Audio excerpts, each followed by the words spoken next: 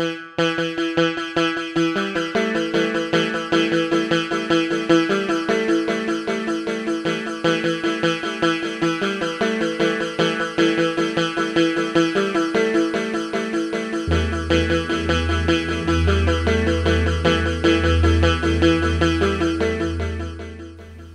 guys, in this video I'm going to show you how we store our Ensete bananas.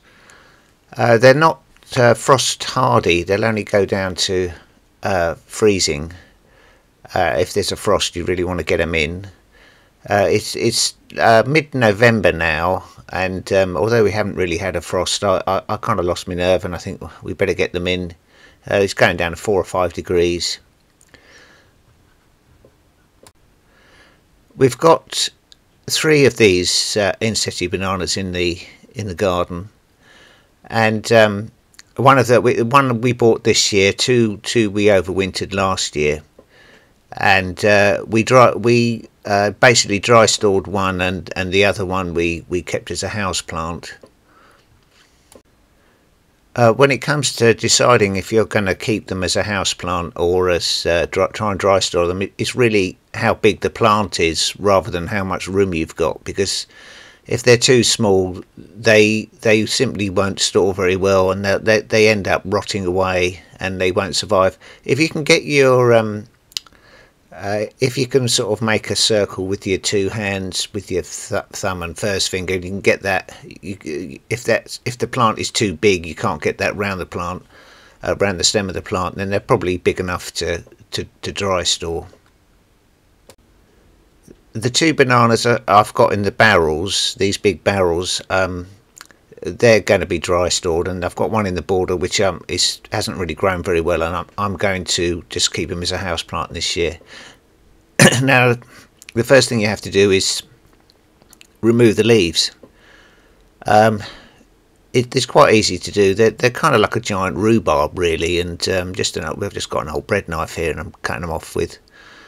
Uh, you want to leave a bit of the actual stem on because you'll find they, they, they tend to uh, rot back a little bit and uh, come next year you, you want to have a little bit of play so that you can cut any rot off and give them a uh, you know so that, so that the plant you see they collect a lot of water down the down the stems and this is what you've got to try and get rid of before you store them.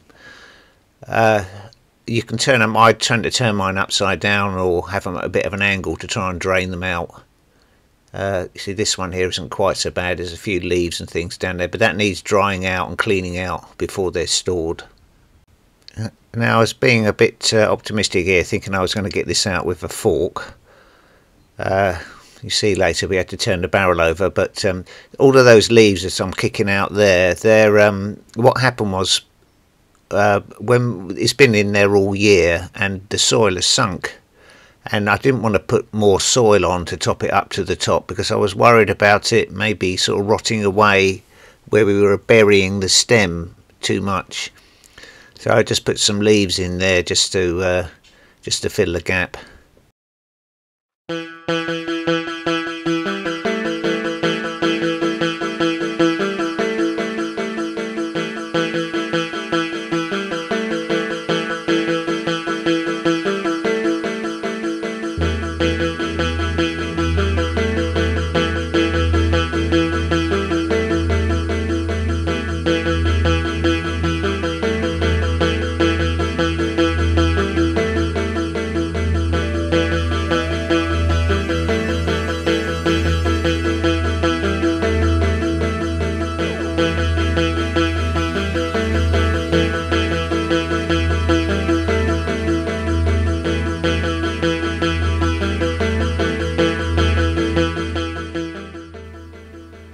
Don't have to worry too much about damaging the roots on these.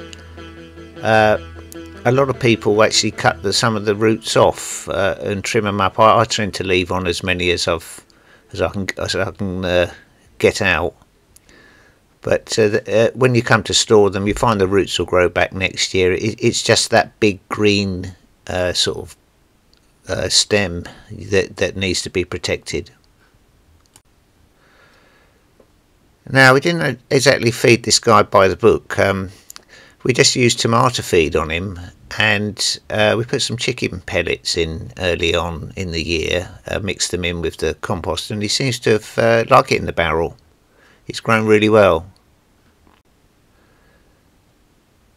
I tend to try and wash as much of the soil off as I can. I'm not that fussy because it it does tend to dry and and just drop off uh, over the over the winter. I, I, I haven't seen any rot. I didn't get any rot last year at the root level. Uh, the the problem I had rot wise was was actually on the top of the plant. Uh, and it was late on once he started to sort of green up he, he went a bit mushy and I had to cut cut some bits off Now, I won't be doing this next year. I put this chap in the border amongst my dahlias, and you can see an echium there, and uh, there, there's some other bits. There's a ricinus there, and they, they, they kind of dwarfed him, and um, he couldn't. He didn't grow quick enough, and, and he didn't have enough light there, and he's not grown very well at all. This chap, so I think I'm going to keep this one as a house plant. Try and nurse him and um, nurse him over the winter and give him a better get a give him a better spot next year so he's got more you can see more of the sun you can see root wise he's not really got a lot of root on there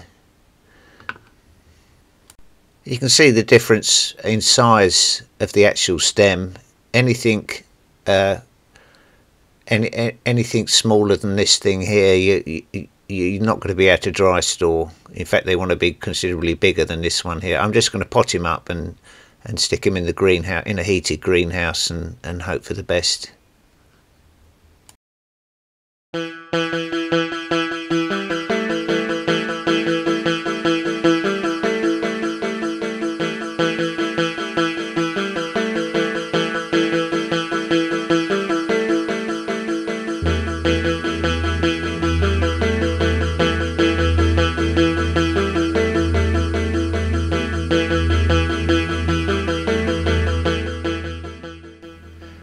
Let them dry out on the bins for a for a couple of days. Then I put them in my polytunnel and propped them up a little bit to to try and get the water out. You can see they're they're quite dry. There's nothing coming out there. Now I don't actually put any soil or any compost in the pots. I just leave them like that. Just uh, just stick them in a pot to stand them up, and um, they seem to do okay because they go dormant. Now you can put them in your loft or in a dark room somewhere. I put them in my sort of outhouse where there's no light in there. It's quite dark, and it, it, it stays around sort of five to ten degrees. So you don't want it over ten degrees, or they'll start growing. Now I put a bit of this uh, yellow sulfur powder on to try and uh, stop the rot, because rot is your main enemy over the winter and I and I, I like to keep an eye on them, take them out of the pots, and make sure that those roots are, are okay. There's nothing untoward happening in the pots. I'll leave them in here now until I'm ready to set them off growing in the spring. Well, that's it. Um, thanks for watching, and, and please remember to subscribe if you're not already done it. Uh, it does give us a little bit of encouragement to make the next video. Okay, goodbye.